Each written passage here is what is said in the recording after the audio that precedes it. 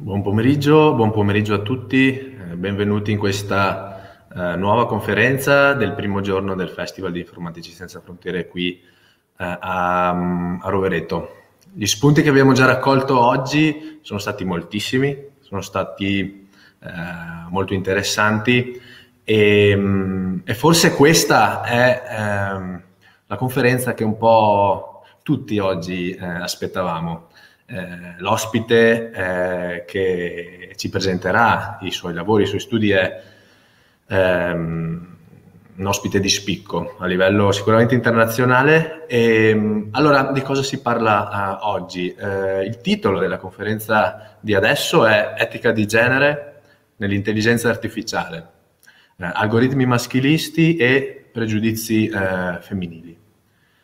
Il tema quindi è, è quello del pregiudizio legato uh, all'algoritmo e, e, delle cause uh, che generano problemi e rischi uh, negli algoritmi che permeano la vita quotidiana di tutti noi che derivano dallo sbilanciamento di genere nel campo dell'informatica. L'ospite eh, di oggi, di adesso, è eh, la professoressa eh, Paola eh, Velardi. Professoressa ordinaria di informatica all'Università La Sapienza di Roma con centinaia di pubblicazioni su riviste di alto livello come Artificial Intelligence, Computational Linguistics o The Journal of Web Semantics. La professoressa Velardi insegna ehm, le materie di machine learning, web and social information extraction e business intelligence. Eh, la professoressa Velardi ha ricevuto svariati eh, premi riconosci- riconosciuti eh, a livello eh, internazionale, come tra gli altri eh, l'IBM Faculty Award per le ricerche sui sistemi di raccomandazione nel 2017, Um, lo standard uh, Women International Award uh, ricevuto, uh, consegnatole presso la sede del Parlamento a Montecitorio nel 2019 e tanti altri. Um, lascio subito la parola alla professoressa Velardi per parlarci di questo tema eh, molto sentito nella comunità eh, di informatici senza frontiere. Grazie professoressa Velardi per essere eh, qui oggi con noi. Grazie a lei anche per essersi letto il mio curriculum e aver fatto questo, eh, questo sommario per, eh, per, chi ci sta ascoltando. Allora, questa è un po' la, la, la, mia, come potete immaginare, in questo periodo sto facendo tantissima didattica online, tantissime riunioni online, però eh, questa è la prima esperienza di un intervento ad una conferenza online. Ed è come stavo dicendo con, eh, con, eh, chi mi ha invitato prima, una cosa mm, diciamo abbastanza frustrante perché io non vedo le vostre facce, non vedo se state attaccati al cellulare invece di ascoltare quello che sto dicendo, non riesco a, a percepire in qualche modo l'umore di chi mi sta ascoltando e, e, quindi non lo so quale sarà la mia prestazione oggi come speaker perché mi manca eh, il, il, feedback da parte di, di, di, chi ascolta. Comunque cercherò di fare, di fare del mio meglio. Allora, eh, adesso partiamo con... Allora, io ho preparato una presentazione, mi sono orientata su una presentazione molto divulgativa eh, mi fa piacere se ci sono delle domande mentre sto parlando e altrimenti mi farà ancora più piacere avere delle domande alla fine dell'intervento. Quindi parto con la condivisione dello schermo. Ok. Dovreste a questo punto vedere la mia presentazione. La vedete? Si vede bene? Qualcuno mi deve rispondere, si vede bene tutto? Ora non, si vede non lo... la vediamo, professoressa, forse eh, deve ancora partire il PowerPoint. No, è partito il PowerPoint e sono in okay, condivisione. Okay. Quindi io okay, dovrei... Forse, eh, forse la, la, finestra selezionata per la condivisione eh, non è eh, quella del, eh, del, PowerPoint. No, no, è quella che ho eh. usato prima. È quella che ho usato prima. Ok. Anche far ripartire il processo da capo, ma è esattamente quello che abbiamo fatto prima durante le, le, le prove. Posso interrompere sì, la condivisione? Fantastico, cominciamo subito con dei problemi tecnici. Tanto per animare la situazione.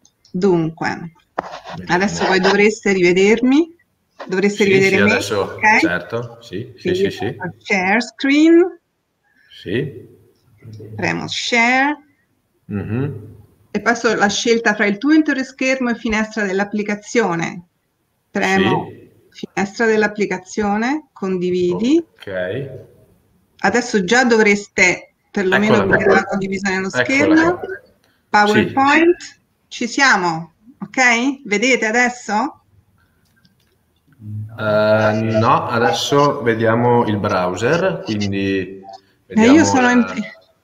sono in, ho davanti a me la presentazione.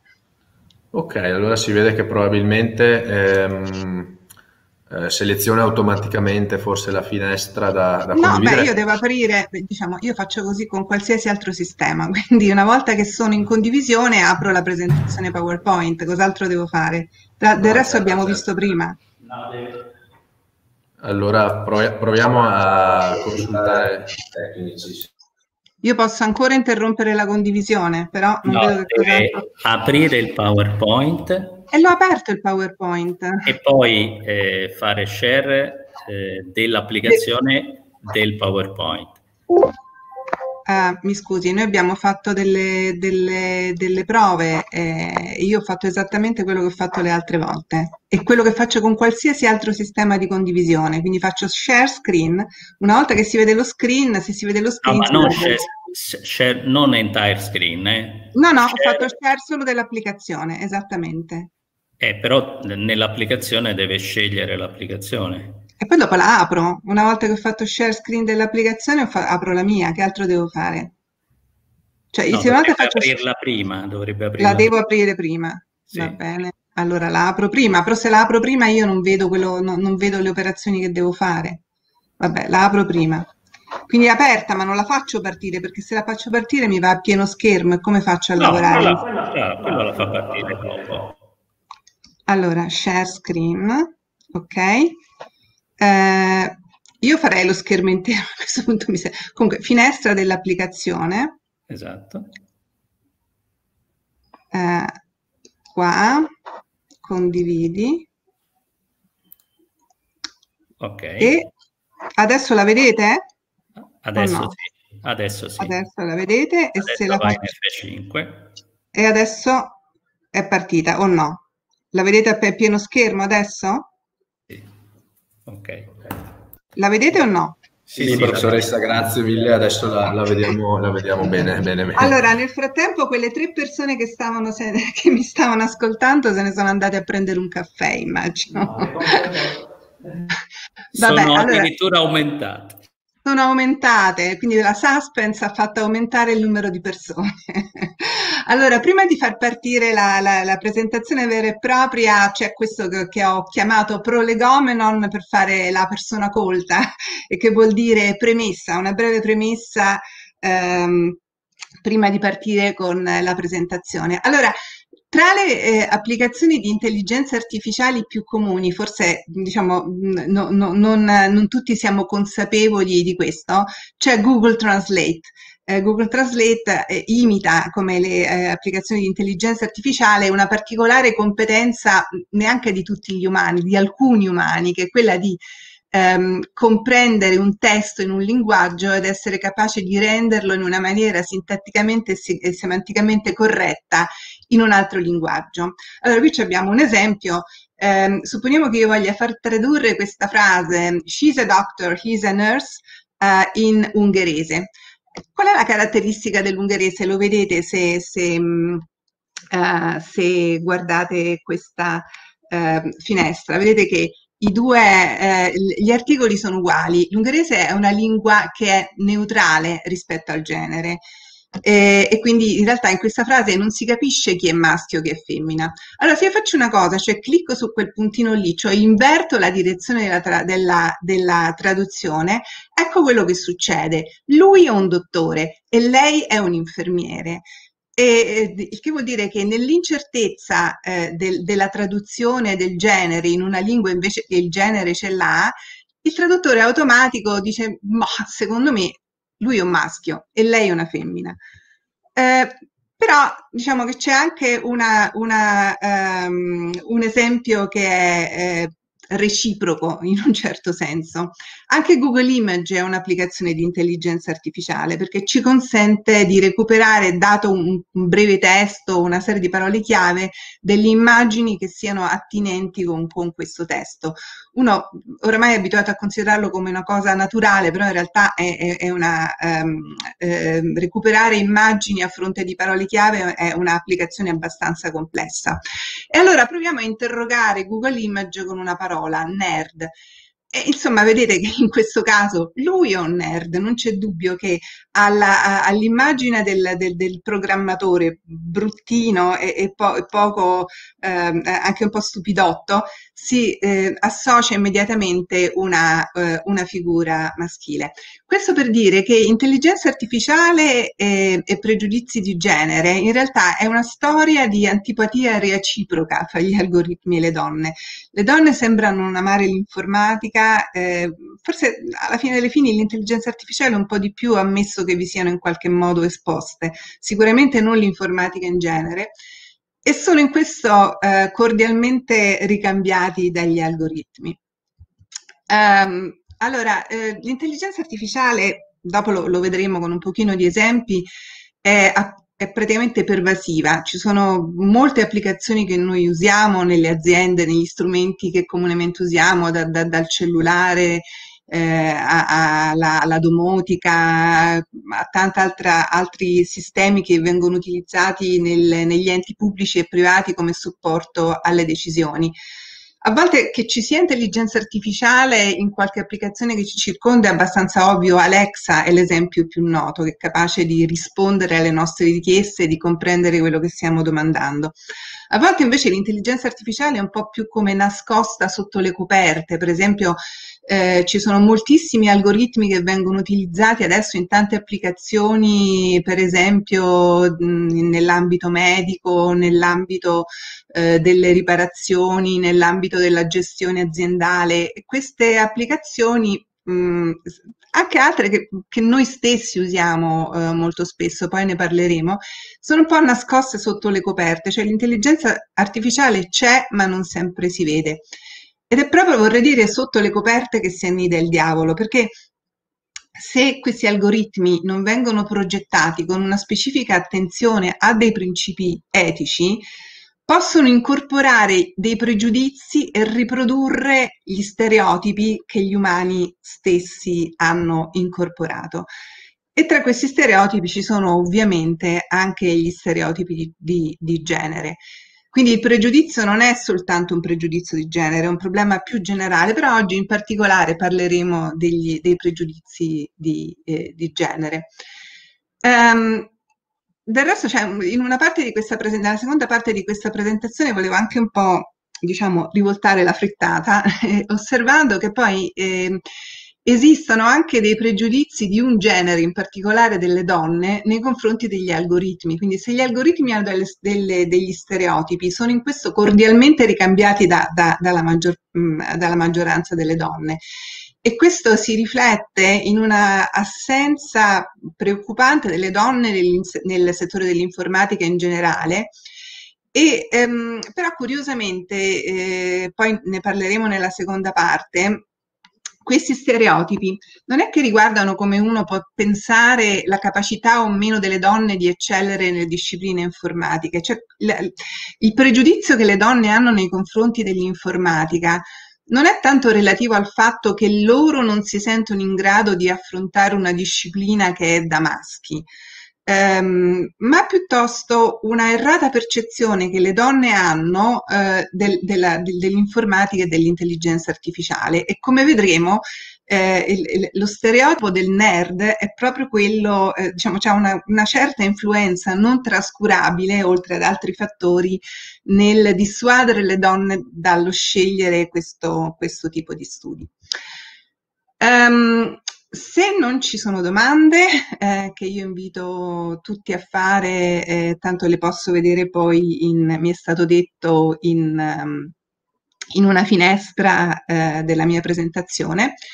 Eh, mm, l'ordine delle cose che voglio raccontare oggi è questo qui. Eh, prima ho bisogno di, eh, di, darvi una pillola di intelligenza artificiale, quindi proprio di, ehm, di spiegare in termini molto semplici quali sono ehm, le, eh, eh le, caratteristiche di un sistema che, tra virgolette, si possa definire intelligente.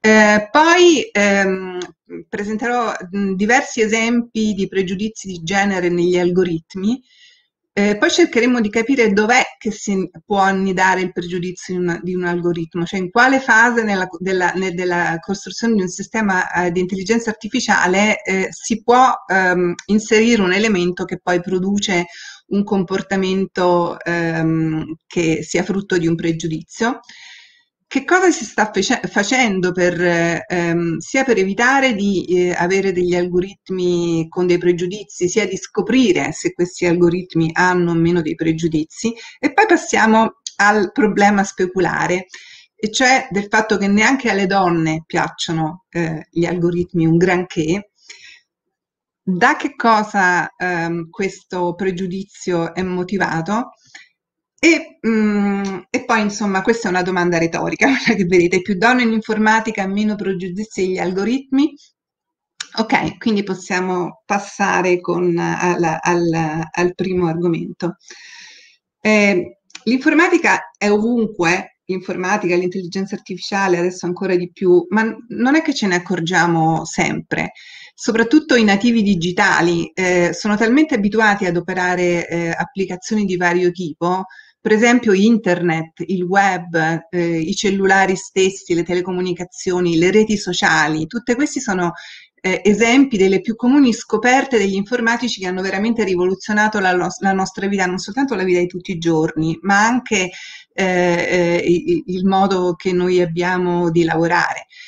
E, ehm, l'intelligenza artificiale è un'area, è una sottoarea dell'informatica, anche questo vedo che per esempio tra i giovani non è così evidente.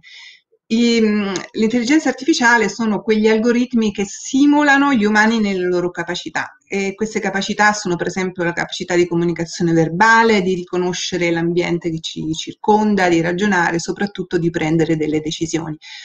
Qui vediamo insomma una, eh, un'illustrazione di quelle che sono le, le, principali competenze che un algoritmo vorrebbe cercare di riprodurre, eh, che sono tipiche dell'intelligenza umana. Una è l'intelligenza linguistica, cioè la capacità di capire quello che ci viene detto e, e di rispondere in maniera appropriata oppure di fare delle traduzioni se abbiamo questo tipo di competenza. Eh, la percezione, che è la capacità di riconoscere l'ambiente circostante, le immagini, anche quando sono magari fortemente perturbate, la capacità di imparare, imparare dai, dai, dai, nostri errori, imparare perché ci viene insegnato da qualcuno, comunque di migliorare le nostre prestazioni rispetto a dei compiti, la capacità di ragionare, e tutto questo va, insomma, ehm, sono tutte le competenze che ci servono per il, eh, per il compito principale, che è quello di ehm, risolvere problemi, che possono essere dai problemi più semplici, come quello di decidere ehm, eh, che, che, preparare a cena o quali film vedere, a problemi enormemente più complicati. Cioè la vera capacità degli umani e che le macchine cercano di, eh, di eh, imitare, perché è questo che in realtà è utile, è la capacità di risolvere, eh, di risolvere dei problemi. Eh, ci sono diversi settori in cui eh, le applicazioni del, dell'intelligenza artificiale eh, sono, sono utilizzati, in generale sistemi di supporto alle decisioni, per esempio nell'ambito dei trasporti, che vuol dire ottimizzare, anche per dirne una, il, ehm, eh, la, l'apertura e spegnimento delle, delle, de, del traffico, delle luci, ehm, ehm, scusate, dei semafori per ottimizzare il flusso delle macchine o trovare qual è eh, la strada più rapida per muoversi da un punto all'altro date certe condizioni le, le, moltissime applicazioni, diciamo, questo è un, veramente un settore di punta, l'utilizzo dell'intelligenza artificiale per migliorare i processi decisionali in ambito medicina, ma poi anche nella ehm, tecnologia della preparazione dei cibi, nella manifattura, in finanza, nei viaggi, nel commercio, nella, nel real estate e eh, nella cultura dell'intrattenimento. Praticamente in tutti i settori l'utilizzo di intelligenza artificiale può migliorare e supportare gli umani nelle loro decisioni e ottimizzare i processi. Um, ci serve adesso una piccola pillola di base perché altrimenti no, non riusciamo a capire come succede che poi un algoritmo possa incorporare dei pregiudizi. Um, eh, in, in, un qualunque ambito, cioè in qualunque settore di applicazione dell'intelligenza artificiale. Allora, Concentriamoci su quel particolare tipo di sistemi di automatici che si chiamano sistemi di machine learning, che sono quelli che vengono utilizzati per supportare delle decisioni. Per esempio, se assegnare o meno il credito um, a, a, ad un uh, utente che, che, che, sta chiedendo credito da parte di una banca, oppure um, che tipo di cura prevedere per un paziente a partire dalla sua storia clinica e moltissime altre applicazioni di questo genere. Allora, L'elemento chiave è che in realtà i sistemi automatici imparano in una maniera che non è molto dissimile dagli umani. Eh, spesso noi impariamo le cose ehm, guardando quello che hanno fatto gli altri. Non è il solo modo di, di apprendere, noi impariamo anche per prova e, e, e, e diciamo, risultato della nostra prova, cioè provando un po' a caso. Però diciamo, la, la, la, cosa di cui vogliamo interessarci adesso è proprio gli algoritmi che imparano viceversa utilizzando dati storici, cioè esempi di decisioni che sono state magari prese da umani nello stesso ambito. In realtà gli algoritmi non conoscono i meccanismi decisionali umani, però osservando dei casi storici in cui le decisioni sono state prese, per esempio concedere o non concedere un prestito, allora vengono messe a disposizione dell'algoritmo tutta una serie di, di, di dati che riguardano ehm, richieste di credito con tutte le informazioni relative che sono state fornite dall'utente e poi la decisione finale che è stata presa dall'umano, cioè assegnare o non assegnare il credito. Eh, analogamente possa avere delle cartelle cliniche in cui so qual è l'esito che ha avuto una particolare cura o l'esito finale del eh, trattamento di un paziente.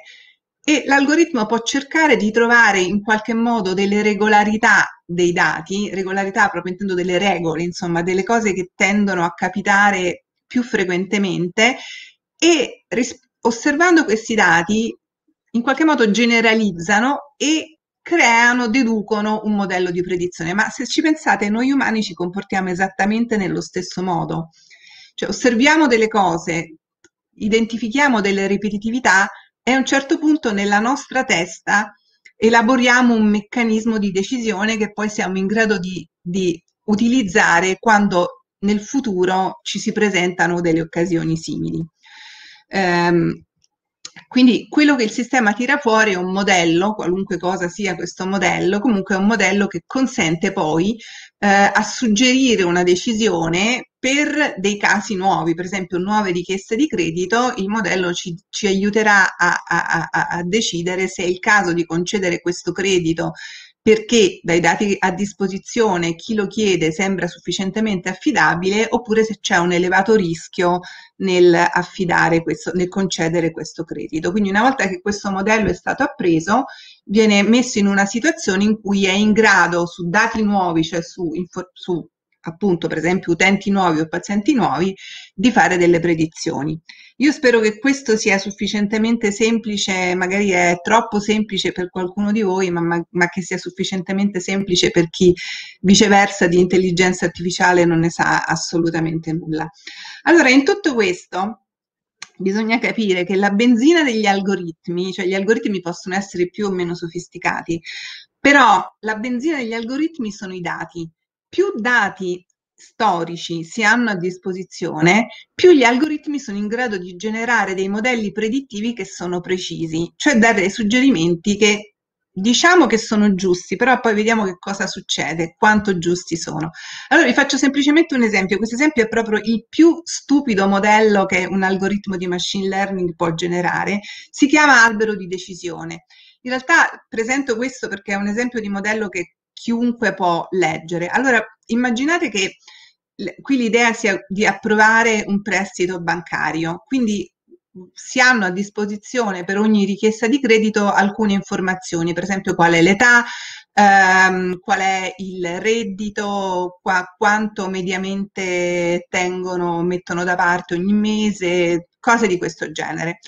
Un albero di decisione funziona così. Supponiamo che mi, adesso questo è veramente pensate molto semplificato, no? uno avrà migliaia di variabili che descrivono tutti gli elementi che possono supportare una decisione. Però, tanto per fare un esempio semplice, supponiamo che a questo punto abbiamo questa signora Jenny Smith che è femmina, 30 anni, eh, guadagna, è bella ricca perché guadagna eh, all'anno 200 eh, 1000 euro e, e, e, in banca tiene 500 euro, mette da parte 500 euro al mese.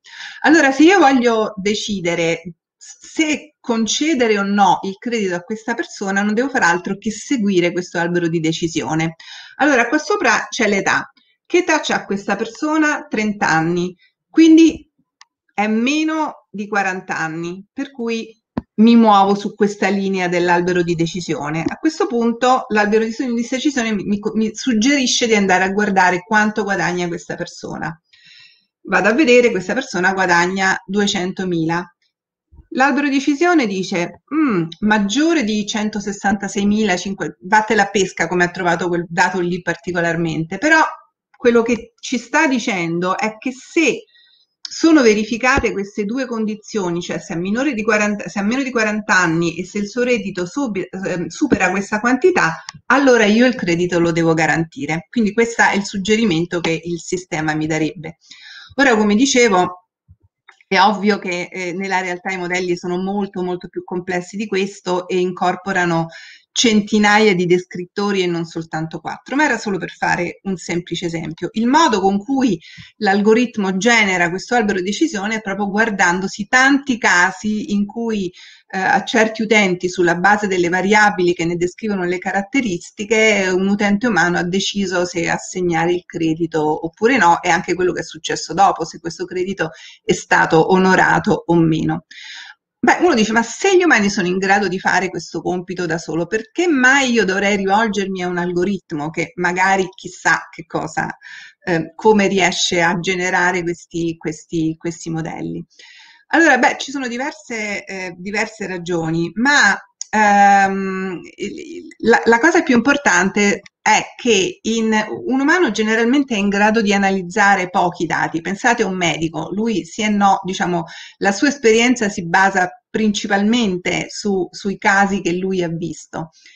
Esistono viceversa eh, milioni e milioni di, di, di, cartelle cliniche di vari eh, pazienti. Guardare questi dati tutti insieme ed essere capace di eh, analizzarli è una cosa che un umano non è in grado di fare.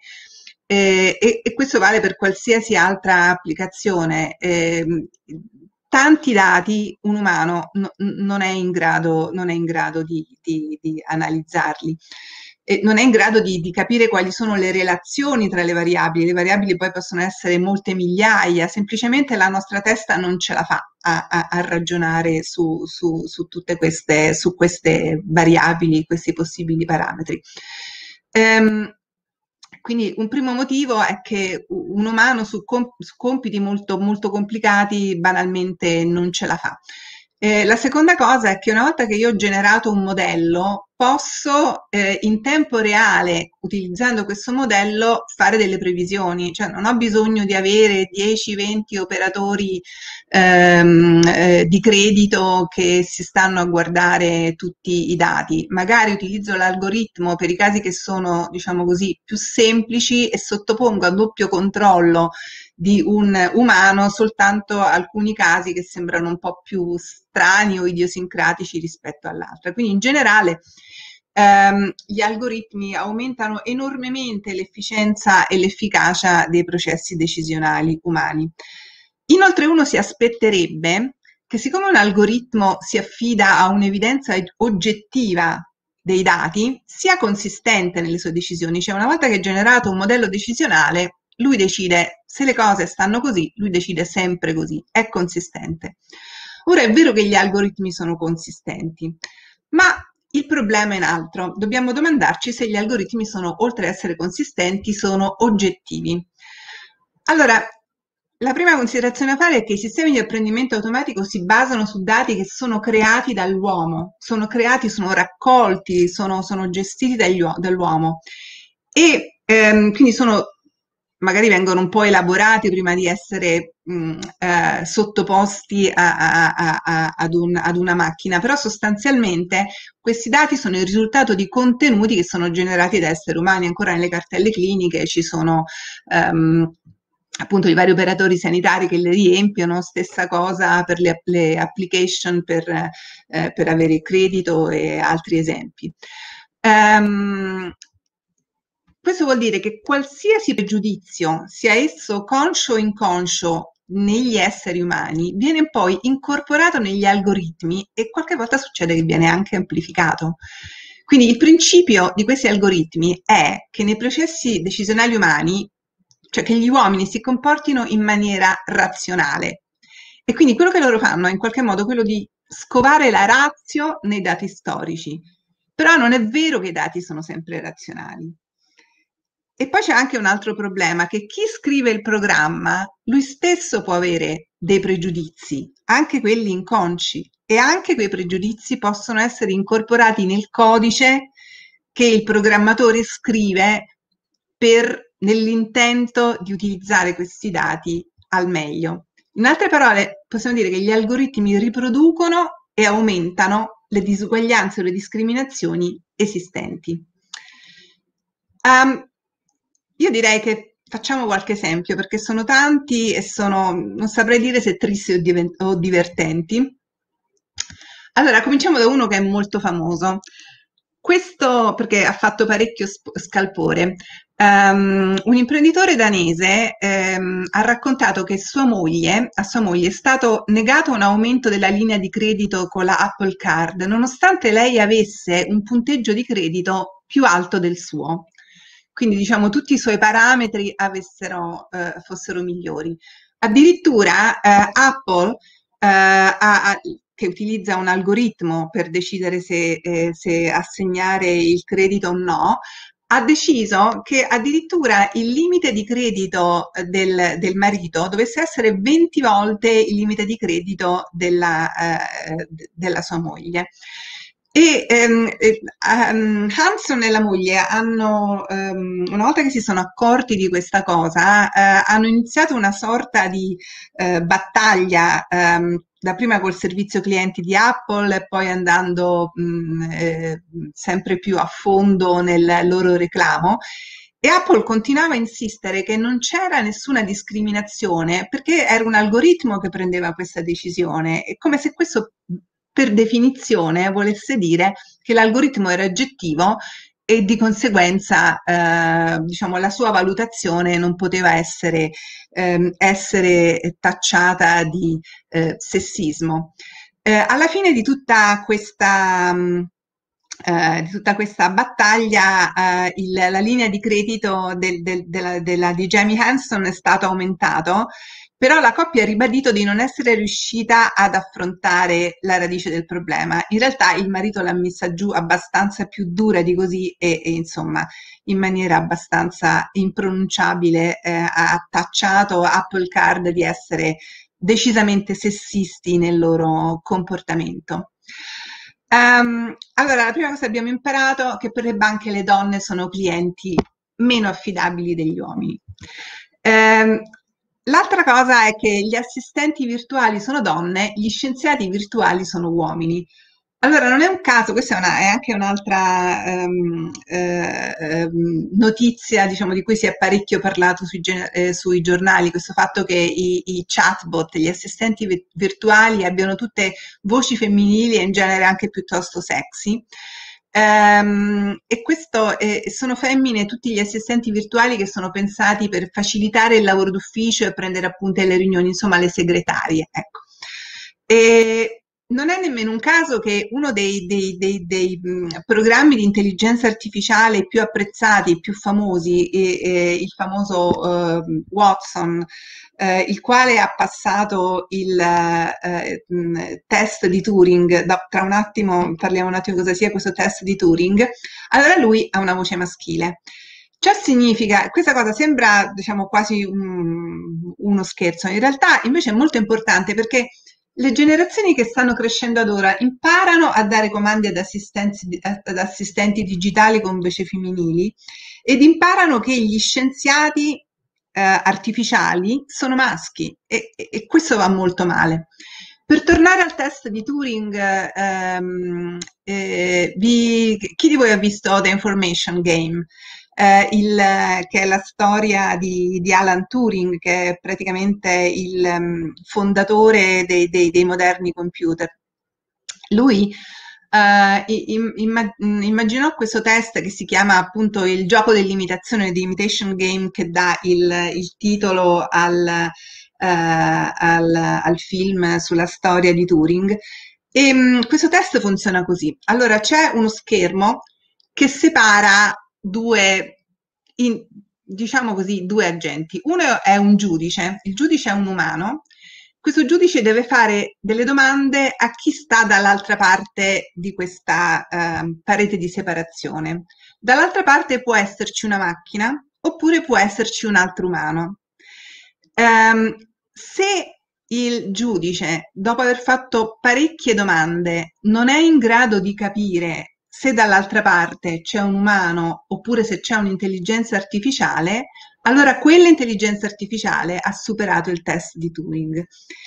E per tanti anni c'è stata una sorta di gara che veniva fatta tutti gli anni con uh, premi abbastanza consistenti, questo anche in anni recenti, eh, e, e, nessuna macchina in realtà riusciva veramente a superare il test di Turing e la prima che ci è riuscita è, è, è questo Watson che è ehm, sviluppato da IBM, però adesso l'era dell'intelligenza artificiale è, è, molto più, ehm, diciamo, ha, ha prodotto de, de, de, degli agenti artificiali che, che sono molto più eh, frequentemente in grado di passare questo test digressione era questa. Um, allora, poi c'è l'esempio, sempre tornando ai nostri esempi di discriminazione, c'è l'esempio che abbiamo già visto degli algoritmi di, eh, di traduzione automatica e, eh, e, per cui l'ungherese eh, neutro viene tradotto con una discriminazione di genere. Allora, Vabbè, per l'italiano un po' di meno, nel senso che l'italiano è un po' incerto, lui non lo sa, ha messo è un dottore, ma sarà donna, sarà uomo, però su lei che è un'infermiera non c'è nessunissimo dubbio. Eh, l'inglese è, se vogliamo, un po' più sessista perché non ha nemmeno dubbi sul fatto che il dottore possa essere un maschio. Ora, a onore del vero, devo dire che dopo um, che questa, questa traduzione sessista è stata scoperta, c'è stata una tale ondata di proteste eh, a Google che se voi ci provate adesso, quello che succede è che lui vi dà tutte e due le traduzioni. Cioè, se voi mm, mm, adesso sotto, so, ah, accidenti, eh, se sottoponete ancora questa, um, questa um, uh, um, traduzione, lui vi traduce uh, she's a doctor, she's a nurse, he's a doctor, he's a nurse e poi vedetevela voi se, se sono maschi o se sono femmine. In qualche modo anche Google Translate si, si è adeguato. Altro esempio, Uh, sei una donna e non ti riconosco.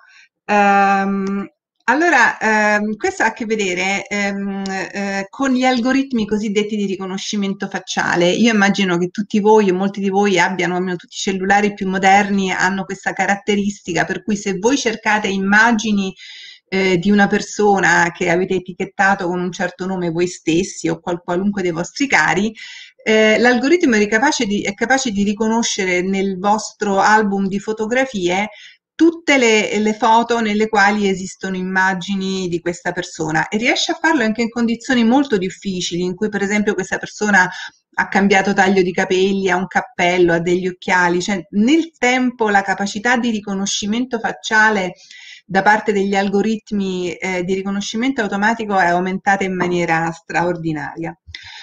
Una ricerca che è stata basata sull'analisi di molti sistemi di, di, riconoscimento facciale ha però dimostrato che i sistemi non sono ugualmente bravi a riconoscere qualsiasi tipo di faccia.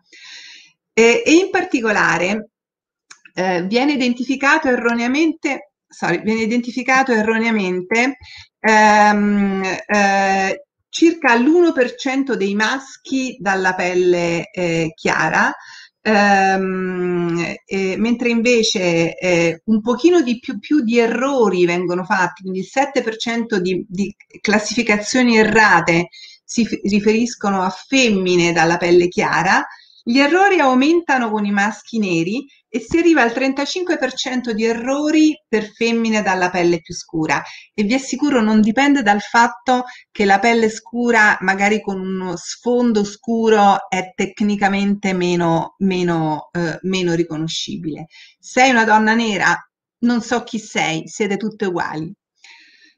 Questo è un altro esempio ancora più triste. Sei una donna, non ti assumo. Questo esempio si eh, riferisce al rivenditore online Amazon che ha un, una quantità di forza lavoro gigantesca. Immagino che a causa del Covid la, la loro forza lavoro sia, sia, quasi raddoppiata come i loro introiti.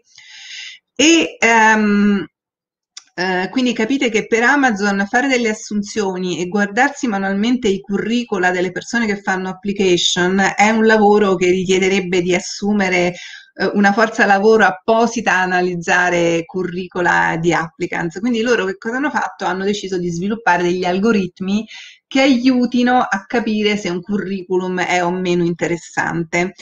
Um, in particolare um, il, um, avevano sviluppato un, un, algoritmo per riuscire ad individuare curricula di eh, persone che fossero in grado di scoprire, di identificare curricula buoni per posizioni manageriali.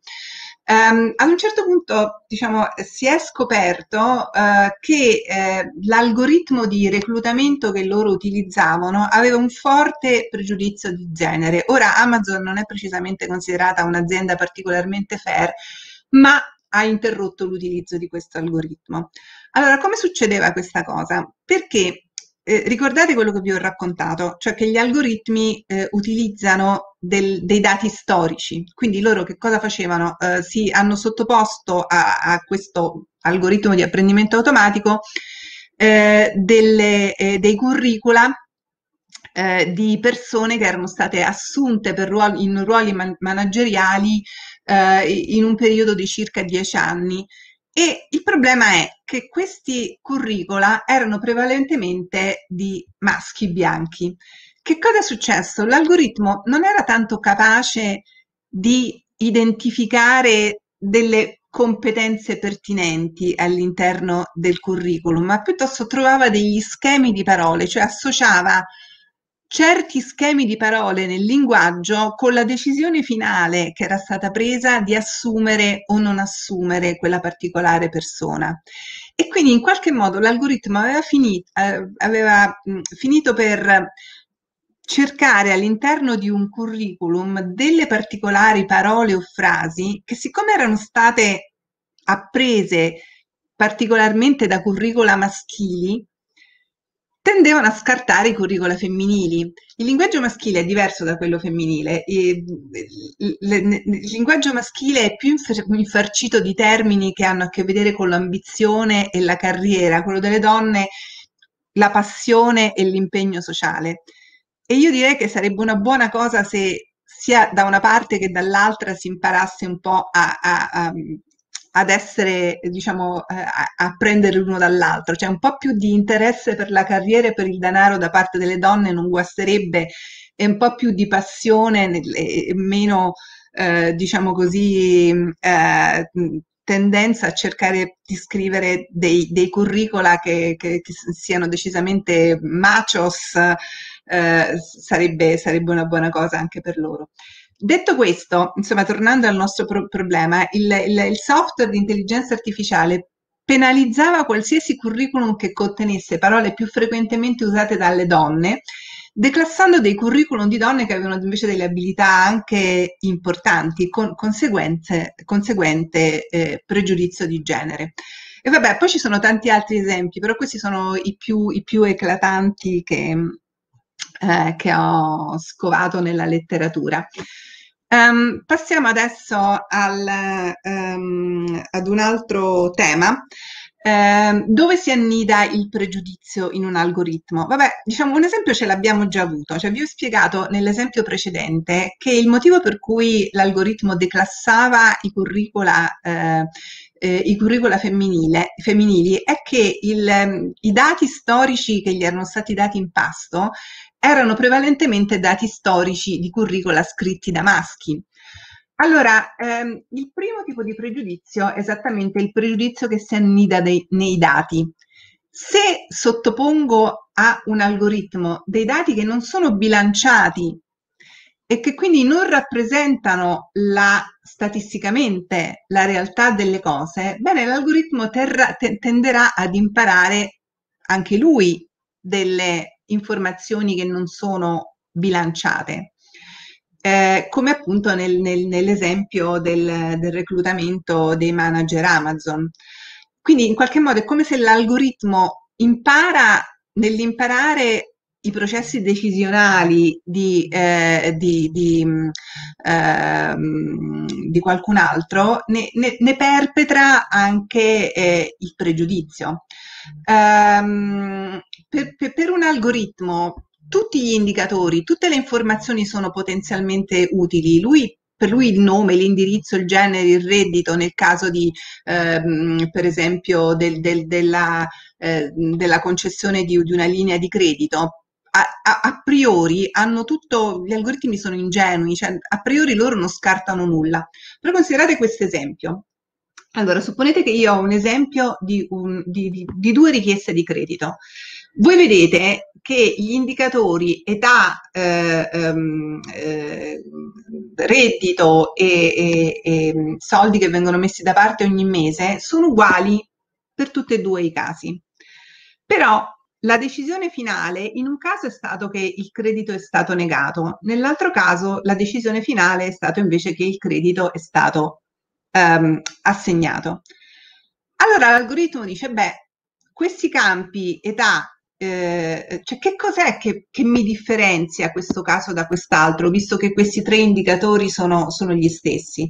Non può essere il nome, perché il nome è diverso per ogni individuo, quindi non è che io decido sulla base dell'individuo. Quindi l'unica possibilità è che l'indicatore che differenzia l'uno dall'altro sia il genere. E quindi scoprirà magari che alle donne a parità di condizioni è stato negato il credito più volte e, e di conseguenza lui in maniera del tutto neutra mh, ripropone lo stesso, lo stesso, schema decisionale.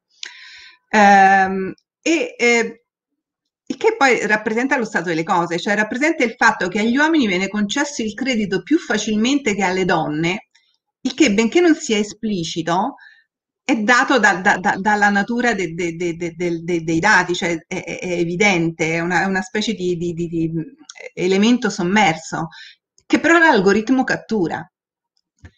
Ehm, I dati, oltre a essere eh, a contenere già dei pregiudizi perché non, non sono rappresentativi, ehm, possono, anche, ehm, ehm, possono anche essere eh, eh incompleti. Per esempio, nell'esperimento dell'analisi facciale, eh, la scarsa capacità di riconoscere volti femminili dalla pelle più scura era semplicemente dato dal fatto che quando si è creato il dataset storico, immagini di donne nere ce ne stavano di meno. quindi l'algoritmo ha potuto addestrarsi di meno su quel tipo, su quella categoria di individui, mentre aveva molti esempi di maschi bianchi e quindi su quel particolare tipologia di, di, di, di immagini l'algoritmo si è addestrato di più e quindi è, è diventato più bravo. Um, ci sono poi altri eh, paradossi, eh, per esempio a volte non è che sia tanto un, un, uh, un, un pregiudizio, ma semplicemente che non, non, si sono guardati bene i dati. Un esempio è dell'Università di Berkeley, che a un certo punto è stata accusata di sessismo nella, nell'ammissione ad una scuola di specializzazione perché risultavano ammessi molti più uomini che donne. Qui ci, ci avviciniamo un po' all'argomento successivo perché poi andando a vedere in realtà in proporzione le donne venivano ammesse ai corsi di laurea in numero inferiore rispetto agli uomini, semplicemente perché le donne facevano meno domanda, quindi avevano presentato molte meno domande. Tenendo in conto questa disparità, in realtà la probabilità di ammissione era leggermente superiore. Uh, vabbè, quindi diciamo che ci sono molti, molti esempi, diciamo, molti motivi per cui un algoritmo può, può, incorporare, può incorporare un pregiudizio. Non ultimo quello anche del programmatore, cioè un programmatore può te- tendenzialmente inserire delle regole che rappresentano il suo modo di vedere le cose. Ma detto ciò, a noi ci interessa anche capire come evitare, come scoprire i pregiudizi degli algoritmi come avere degli algoritmi che sono più, um, si parla di fairness, che, sono, che, sono, uh, che, che quindi non hanno un comportamento pregiudiziale. Um, ci sono, um, sembrerebbe facile accorgersi con algoritmo dei pregiudizi, questi gli esempi che vi ho fatto in realtà sono emersi per caso, non, non, è che sia così facile. E perché non è facile accorgersene? Beh, perché i modelli decisionali sono opachi, cioè, voi avete visto quell'esempio all'inizio in cui il modello poteva essere tradotto in regole, ma in realtà i sistemi, non so, qualcuno di voi ha sentito parlare di deep learning, di, di, di mm, eh, reti neurali, gli algoritmi, soprattutto quelli di ultima de- generazione di intelligenza artificiale, in realtà forniscono delle, dei suggerimenti, ma non sono in grado di dire che cosa motiva questi suggerimenti. Il modello è un complesso sistema di equazioni che non sono interpretabili da un umano. E quindi l'opacità è, è, è uno dei, dei, motivi che non consente facilmente di accorgersi che un algoritmo ha un pregiudizio. Inoltre i dati cui gli, di cui gli algoritmi si nutrono possono essere incompleti, quando i dati sono milioni e milioni, big data, anche a volte miliardi e miliardi, non è tanto facile capire che questi dati non sono bilanciati o non sono rappresentativi, proprio per, per la loro dimensione. E, o, o, per esempio che non si siano raccolti dati su, che ne so, sul, uh, su, sul microcredito o su uno speciale ambito. Quindi problemi nei dati, problemi negli algoritmi non sono facili da, da rilevare perché i dati sono troppi e perché gli algoritmi sono opachi. Ci sono diversi metodi che, per mitigare il pregiudizio nascosto nel, degli, negli algoritmi. Allora, eh, uno dei, dei, dei, dei, diciamo anche un'area di ricerca che sta emergendo adesso è proprio la cosiddetta bias detection, che vuol dire appunto scoprire il pregiudizio. Um, ci sono in qualche modo degli algoritmi che sono stati progettati apposta per scoprire se un certo algoritmo ha un pregiudizio. Eh, seconda, ehm, il secondo metodo è quello dell'interpretabilità, cioè rendere gli algoritmi capaci di giustificare le loro decisioni, giustificarle a un umano, cioè in maniera che un umano lo possa capire, come nell'esempio delle regole che abbiamo visto prima, consente eh, di, ehm, ad un umano di accorgersi che c'è qualcosa che non va nel ragionamento della macchina. Per esempio, quando una decisione di rifiuto del credito è, è, è, stato capire se questa decisione è giustificata dal fatto che il richiedente non abbia abbastanza soldi o perché non ha eh, rimborsato prestiti nel passato o perché è donna, è, è chiaro che, che, che, potrebbe aiutare a, a, a, risolvere, identificare il problema, però come vi ho detto la maggior parte degli algoritmi allo stato dell'arte di machine learning non sono interpretabili. E, il terzo elemento è quello di avere un quadro normativo e anche questa è una cosa alla quale la comunità europea sta lavorando.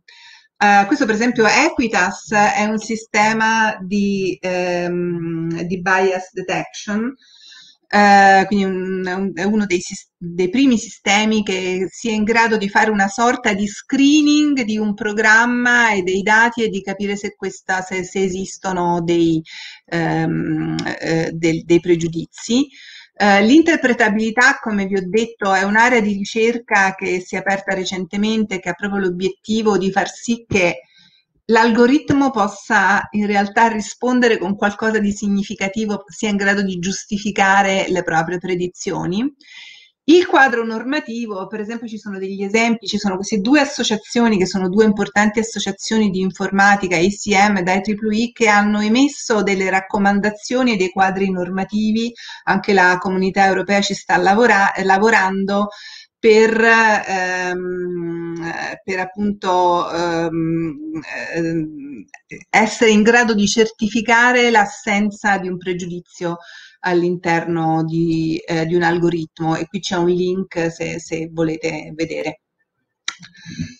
Um, Ok, io non, non, so se ho altro tempo o no, avrei circa un altri dieci minuti per parlare della seconda cosa, eh, cioè sul fatto che neanche a noi piacciono gli algoritmi, però mi posso anche fermare qui, ditemi un po' voi, mi dicano gli organizzatori che cosa devo, devo fare. Gli organizzatori sì. già dormono. Quindi, Grazie professoressa Benardi. Siamo, no, no, no, stiamo seguendo appassionatamente il, la sua pres- presentazione.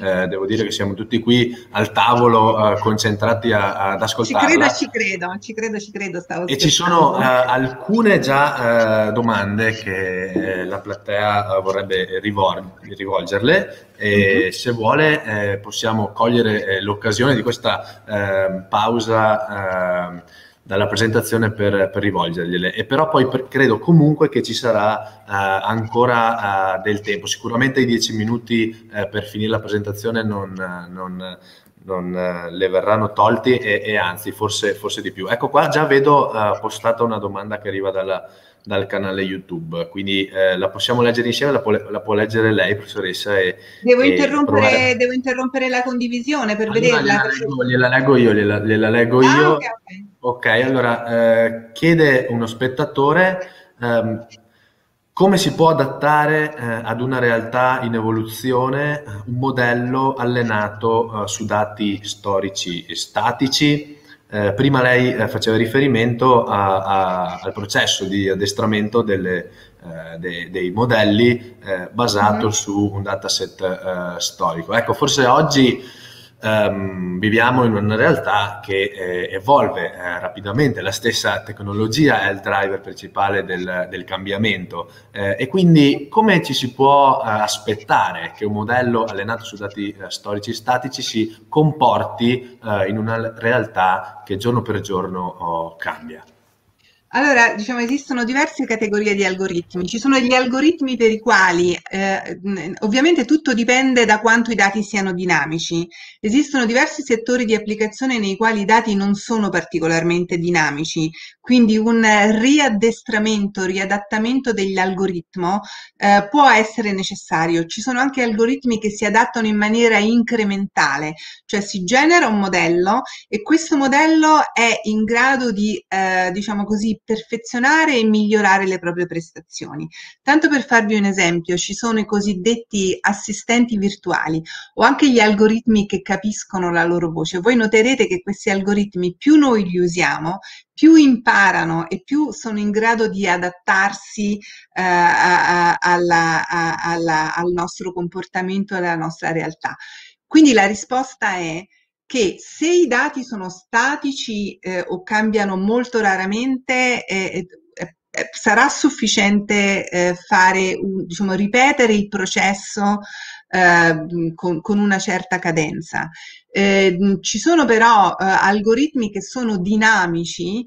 Eh, io le faccio un esempio. Allora, supponiamo di voler ehm, costruire un sistema che è in grado di classificare i messaggi Twitter come positivi o come negativi eh, in, in, generale oppure in un particolare dominio. Allora, io non mi aspetto che il linguaggio di Twitter delle persone cambi drasticamente da un anno all'altro. Quindi, diciamo, una volta che ho imparato un modello di classificazione, questo modello is good enough per andare avanti per, per, per un po'. Invece un sistema per esempio di raccomandazione, cioè un sistema che debba essere utilizzato per proporre degli acquisti ad un individuo, ha bisogno continuamente di adattarsi, quindi ha bisogno di osservare il nostro comportamento ed in tempo reale eh, di adattare il, il, proprio, eh, diciamo, il proprio modello di predizione. Quindi esistono algoritmi dinamici che usano sempre dati storici, ma come dire, la linea temporale di questa storia si sposta via via che il tempo passa. Penso, non so se è chiara la risposta. Certo, la risposta è chiarissima, professoressa, grazie. E le leggo un'altra sì. domanda che eh, ci rivolge eh, la platea. Eh, la domanda è questa. Un algoritmo sarebbe in grado di emettere una sentenza, eh, ma anche di esplicitarne una dettagliata eh, motivazione? Allora, eh, la, la, l'applicazione di intelligenza artificiale in ambito giuridico esiste. Eh, mh, quello che viene fatto adesso è una cosa meno rischiosa di far eh, emettere una sentenza, ma è quello di, eh, allora qual è un problema? Che nel eh, decidere, insomma nell'organizzare un, un, un, un certo processo eh, di giudizio è molto importante trovare la normativa precedente e i casi precedenti.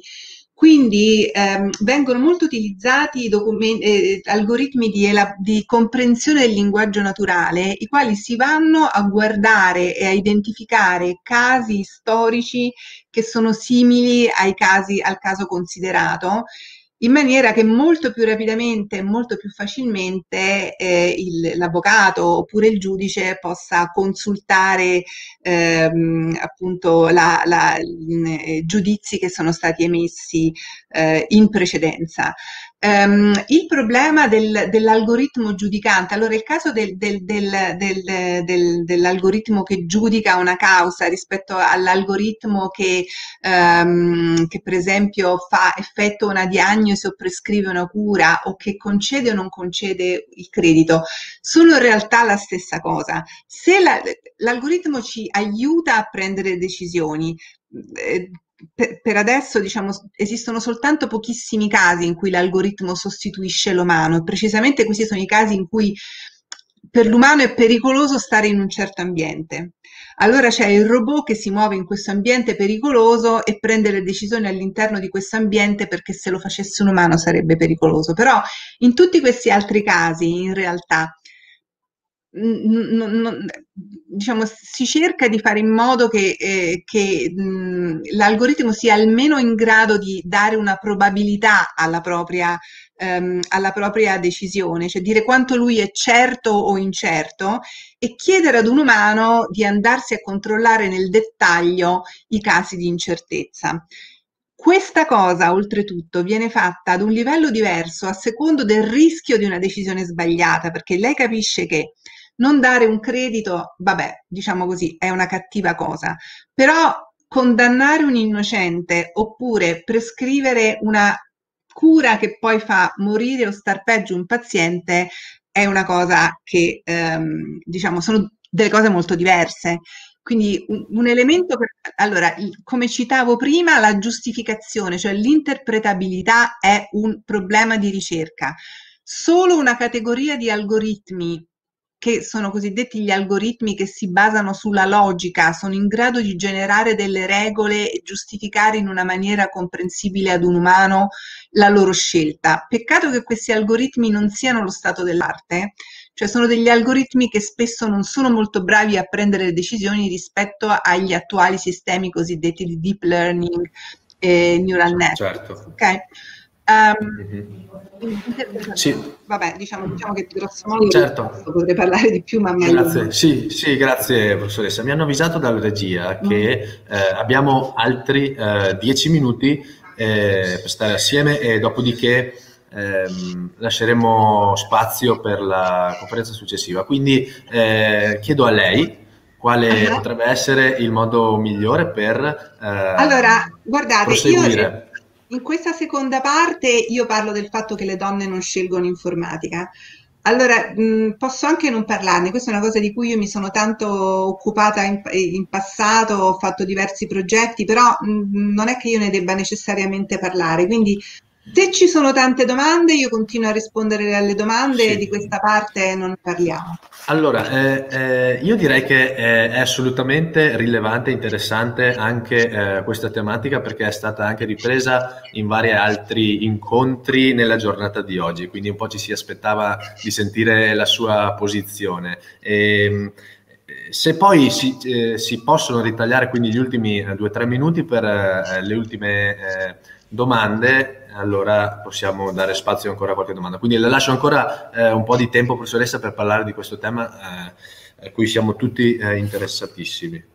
Va bene, d'accordo, allora cercherò di farlo nel modo più veloce possibile. Grazie. Allora, partiamo subito con una cattiva notizia, che c'è veramente una percentuale bassissima di donne prof- nelle professioni che sono legate all'information communication technology. Ora questo numero può essere 3%, può essere 10%, dipende un po' dalle nazioni. Per esempio in Italia si aggira intorno al 10% e posso testimoniare che il numero di donne che si, che si iscrivono, per esempio se voglio dare dei dati più locali, eh, a Sapienza ehm, nel 2014 ci sono laureati eh, ehm, eh, 7.352 maschi ed un numero, io adesso purtroppo, siccome sto in, ecco, 11.589 femmine, quindi si laureano molte più donne che uomini a Sapienza, questo è un dato un po' generale. Se uno va a vedere, questa è una tipica aula di medicina, eh, lo vedete un po', no? Ci sono, ci sono ehm, anzi c'è una leggera predominanza di, eh, di, di donne, specialmente in alcune, in alcune specialità. A lettere qua gli uomini sono l'ago in un pagliaio, ci sono laureati per esempio, qui sono dati del 14, le percentuali non sono molto cambiate adesso, circa un migliaio di maschi e 3500 femmine, eccoli qua, degli sparuti maschietti.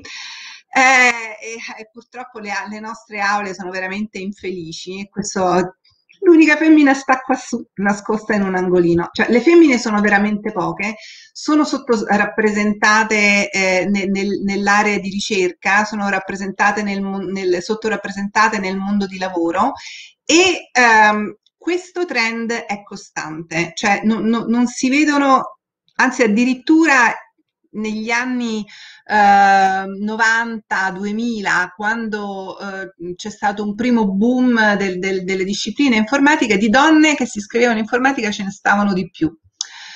Um, di chi è la colpa? Beh, allora io diciamo veramente le cause sono tante, però visto che ho solamente dieci minuti ho pensato di concentrarmi soltanto su una motivazione che uno potrebbe pensare non è importante e invece lo è.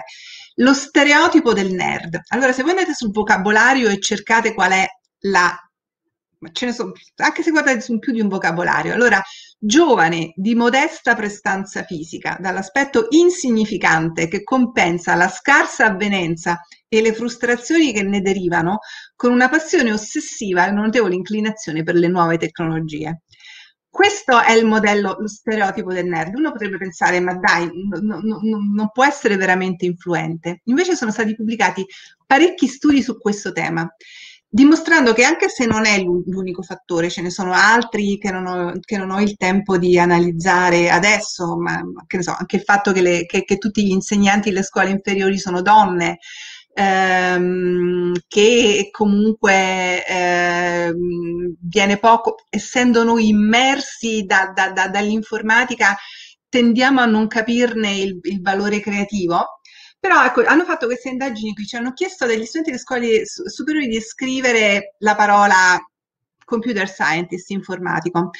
E le parole più comuni che sono state usate sono maschio, intelligente, poco attraente, asociale, ossessionato dalla tecnologia. Però il problema è che le donne tendono a usare particolarmente questi, eh, questi ultimi aggettivi eh, mentre gli uomini tendono a usare di più questi altri aggettivi. Quindi lo stereotipo del nerd effettivamente co- colpisce soprattutto le donne, incluse le insegnanti che sono prevalentemente donne nelle scuole, perché in qualche modo è incongruo, cioè questa cosa della socialità, dell'essere chiuso sul, sul proprio, di essere un pestatasti, è, è, è proprio eh, diciamo, qualcosa che è, è, particolarmente incongruente rispetto alla tradizionale identità del genere femminile che è tendente al sociale e tendente alla, alla, alla comunicazione.